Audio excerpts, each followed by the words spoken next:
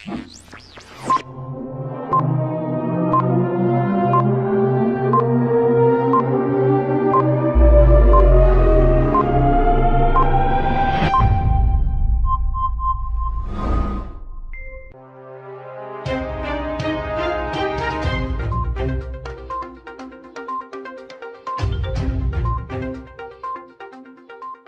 gördük hər birinizi əziz dostlar. Salamlayıram sizi. Azərbaycan TV yenidən efirdədir.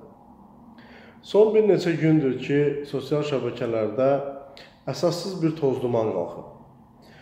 Cəbhəçilər, Sevinc Osman qızı, Qənimət Zahid və başqa trollar Əli Kərimin timsalında bir qəhrəman obrazı yaratmağa çalışırlar.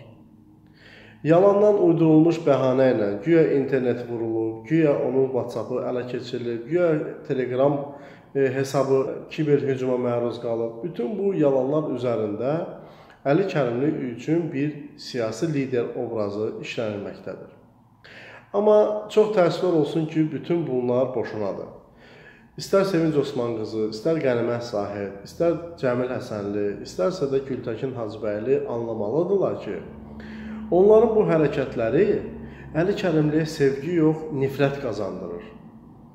Çünki xalq Əli Kərimin timsalında, Azərbaycan Xalq Cəbhəsi Partiyasının timsalında, Milli Şuranın timsalında bir düşmən görür. Ermənilərlə, Paşinyan kimilərlə əlbir olub Azərbaycanın milli maraqlarına zərbə vuran bir Troy atı görür.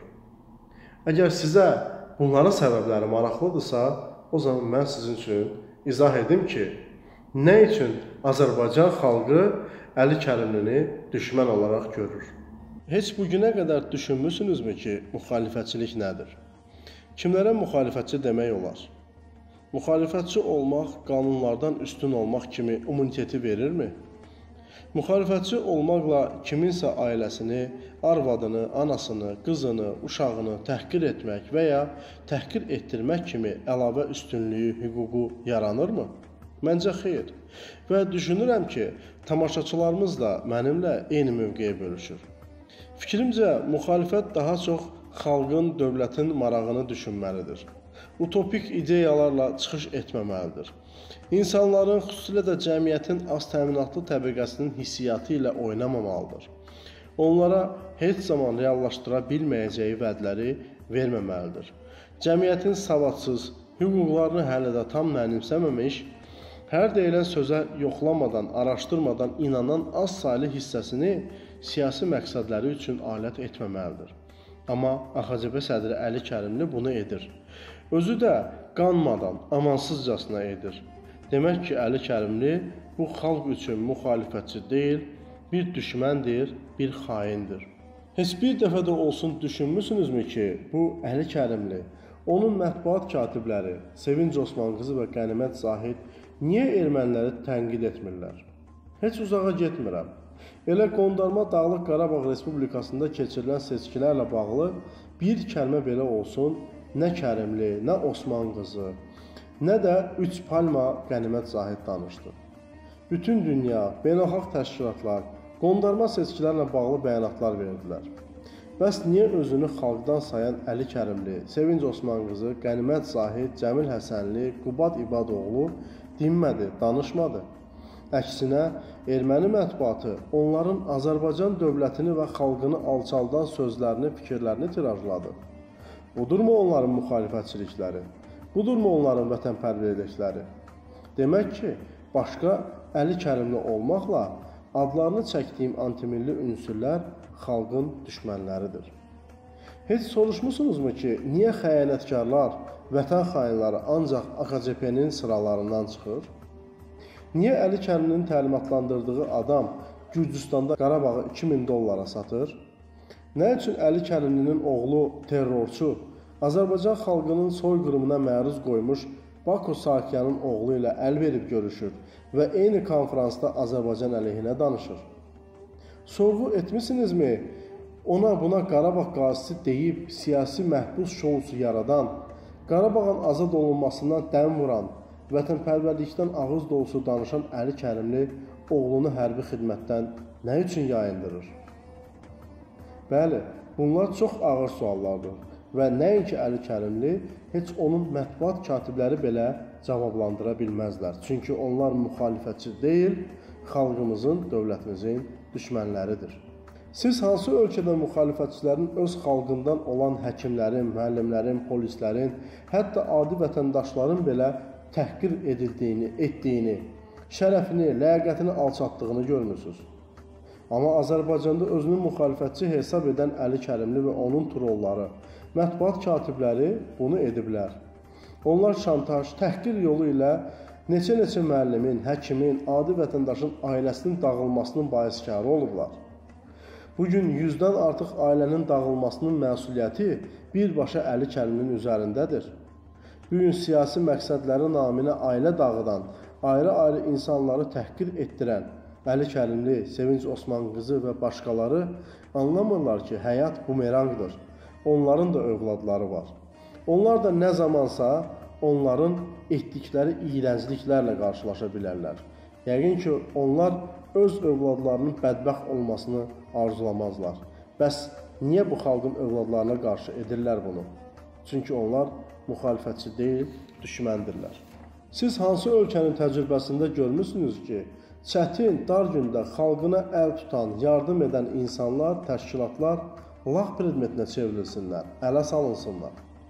Amma Azərbaycanda özünü dırnaqarası ana müxalifət hesab edən Əli Kərimli və onun tez hissləri ilə danışan Sevinç Osman qızı, Qənimət Zahid və AXCP trolları koronavirus pandemiyasının yaratdığı belə ağır gündə tənhalara, yaşlılara, əsnafnətə ailələr yardım edənləri nəinki ələ salır, hətta təhqir edirlər.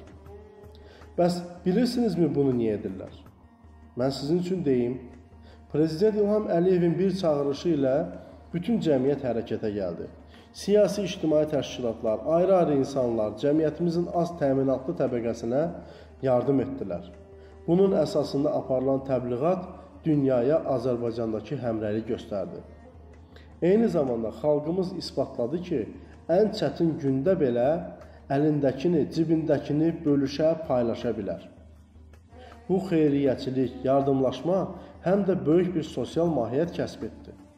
Lakin bu ölkəmizdə aclıq, sosial böhran, körtəbii aksiyaların olmasını istəyənlərin planını pozdu.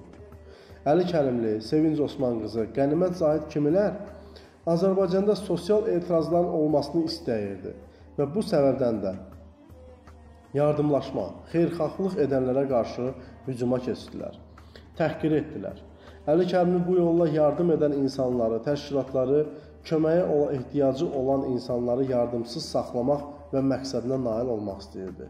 İndi siz mənə deyin, Əli Kərimli bu xalqın düşmənidirmi?